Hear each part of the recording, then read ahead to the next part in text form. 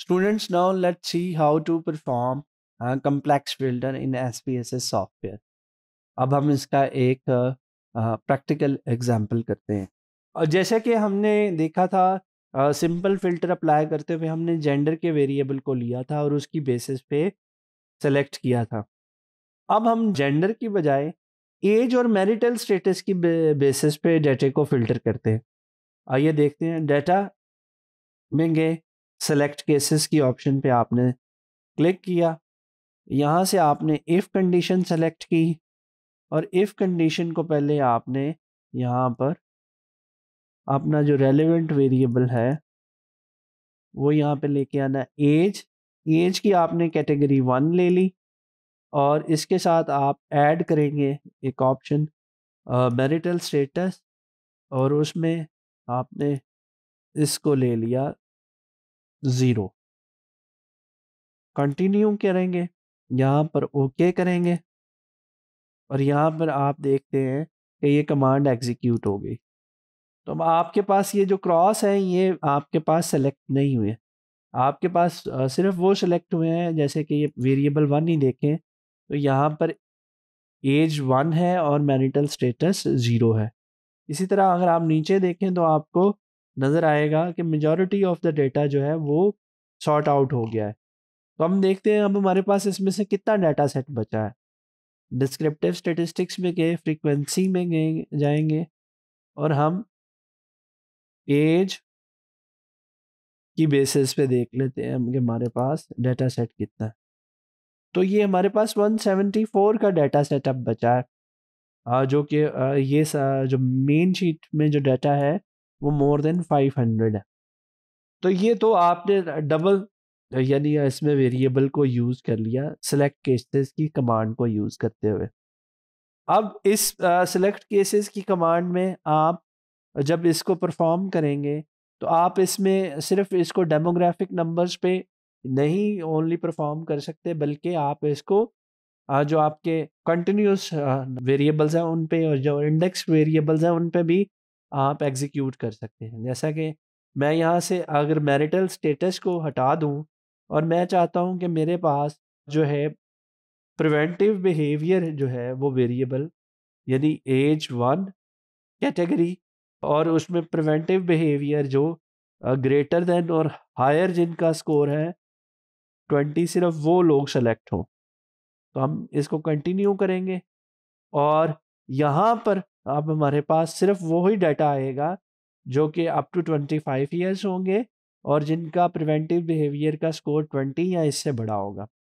हम यहाँ पर आ, हमें S P S S output में कुछ और भी ऑप्शंस देता है कि हम इसका एक अलहदा से आ, शीट बना लें।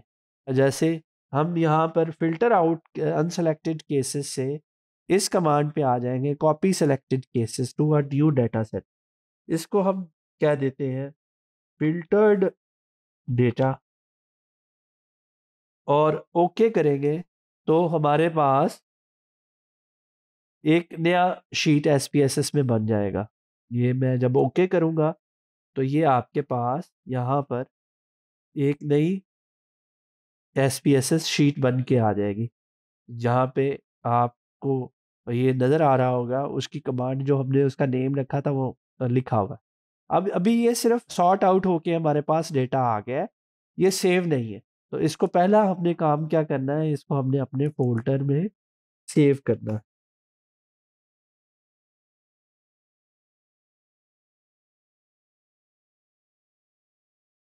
तो अब हम देखते हैं कि ये हमारे पास डाटा सेट कितना है। तो हम डिस्क्रिप्टिव फ्रीक्वेंसीज में जाते हैं। हम इसको प्रिवेंटिव बिहेवियर की फ्रीक्वेंसी देख लेते हैं, हमारे पास कितनी है। तो देखें, ये हम, हमारे पास अब टोटल जो केसेस सेलेक्ट हुए हैं, वो 162 हैं और इसमें जो प्रिवेंटिव बिहेवियर का स्कोर है, वो 20 एंड मोर देन 20 है। यानी जो 20 से कम केसेस में जिनका स्कोर था, वो यहाँ पर सेलेक्ट नहीं हुए। तो इसको हम मीनिंगफुली इस कमांड को यूज़ कर सकते हैं अपने डाटा एनालिसिस में। ये डिपेंड करता है रिसर्चर के S P S S knowledge पे और उसकी थ्रेटिकल अंडरस्टैंडिंग पे कि उसने अपने वेरिएबल्स को कैसे मॉडिफाई करना है और कैसे उसने उसका यूटिलाइज करना है उस वेरिएबल को। इसमें हम दोबारा मास्टर शीट में आते हैं। यहाँ पर मैं आपको एक और चीज़ बताता चलूँ कि आल केसेस सेलेक्ट करने के बाद हम इसमें से रैंडम सैंपल भी बना सकते हैं अपनी इस रैंडम शीट का।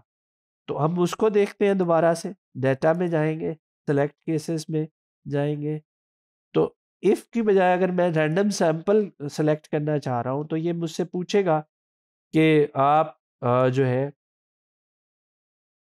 अगर सैंपल बनाना चाह रहे हैं तो टोटल परसेंट का कितने परसेंटेज हो? तो मैं कहता हूँ कि ये twenty five percent of the total data हो। तो इसको मैं कंटिन्यू करूँगा और इसको एक अलहदा से सेपरेट फ़ाइल में चाहता हूँ मैं इसकी बन जाए।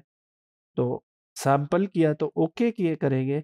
तो यहाँ पे हमारे पास एक अलहदा से जो है, वो बन के आ गई है फ़ाइल। हम इसको देखते हैं, इसके डिस्क्रिप्टिव देखते हैं कि अब इसका सैंपल साइज़ क्या है।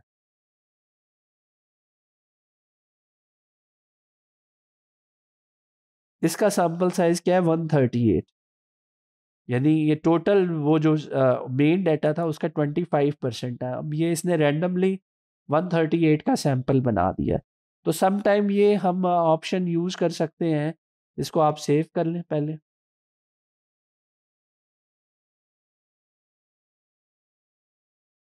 तो सम टाइम हम ये ऑप्शन यूज़ कर सकते हैं कि अगर हमने प्रोबेबिलिटी मेथड के थ्रू जो है अपना सैंपल ड्रॉ करना है तो आपके पास अगर टोटल डाटा है तो उसमें से आप इस सेलेक्ट केसेस की ऑप्शन को यूज़ करते हुए भी जो है, अपना सैंपल ड्रॉ कर सकते हैं। तो ये हमने देख लिया इस मॉड्यूल में कि कम्प्लेक्स फ़िल्टर क्या होता है और इसको कैसे अप्लाई किया जाता है।